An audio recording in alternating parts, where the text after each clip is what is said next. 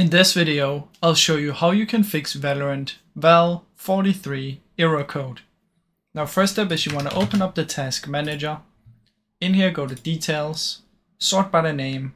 In here press R and look for Riot Client and make sure you end the task. After that press V and look for Valorant.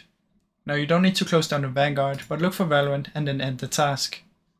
After that what you want to do is come here and search for run type in percentage local app data percentage and press OK.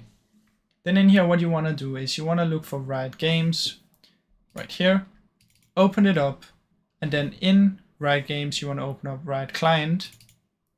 In Riot Client what you want to do is you want to find config, and what you want to do is you want to delete Riot Client settings YAML. So click on this and delete it. After you've done that you want to come back to local and then you want to find Valorant. So let's look for it, v Valorant. Then go into saved, then go into config.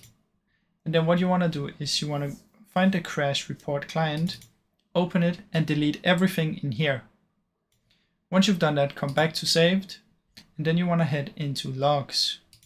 Delete everything in here as well. Once you've deleted everything in here, you can just close it down Come here and search for services, open it up, press anywhere and press V, find VGC, double click, put it on automatic, press start, and once this is done, you want to press apply and OK. Now that we're done this, what you want to do is you want to come down here and search for CMD, right click, run as an administrator. It should look like this, and in here you want to type ipconfig space forward slash flush DNS. Then you want to type net, net sh space winsock space reset and press enter. And then simply what you want to do is you want to just restart your PC and now it should hopefully work. If for some reason it's still not working, there's two last solutions that you might want to try. The first one is you want to log out of your account and then try and log back in and see if that works. Now the other one is you have to find your router inside your home and then unplug the power to it for a few seconds and then replug it so it's gonna restart. Now I really hope any of these helped fix the issue. If they did, please leave a like and subscribe as it helps me out a ton.